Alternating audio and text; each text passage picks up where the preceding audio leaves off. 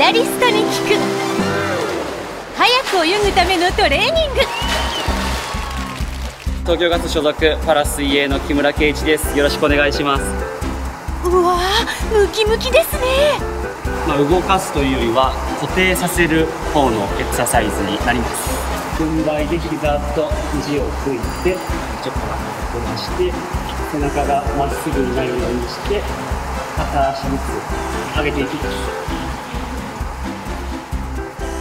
ここからは難易度アップ。腕とか足とかついてますけどそこにはあんまり力を入れない。で浮いてるお腹で支えてる感じ水の中って不安定な場所なので安定して強い力を出すために安定してる中で、えーと、と体を作っていくっていうのが大事になるので。なるほど。みんなもやってみてね。みんなでパラトレ。